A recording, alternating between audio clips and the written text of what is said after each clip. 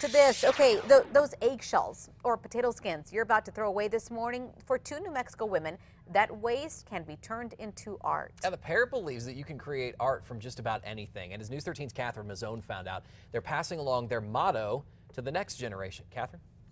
That's right, Adam. For these two women, repurposing their trash is not only a way to create art, it's a way of life. The pair doesn't let anything go to waste, using everything from cans and onion skins to make a statement.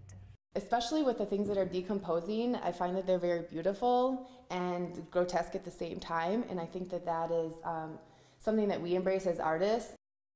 Artist Michelle Corte-Lech and Autumn Pearson are firm believers you can find art in just about anything. It's subjective. Now the two are passing along their mantra.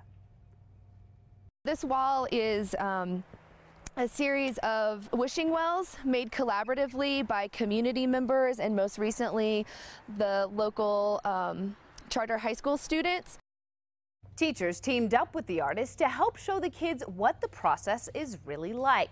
But the students took away more than just a few tips. They also learned a thing or two about sustainability. Corte-Lech and Pearson are also gaining traction around town. Their art has become hot sellers at the growers and rail yards markets.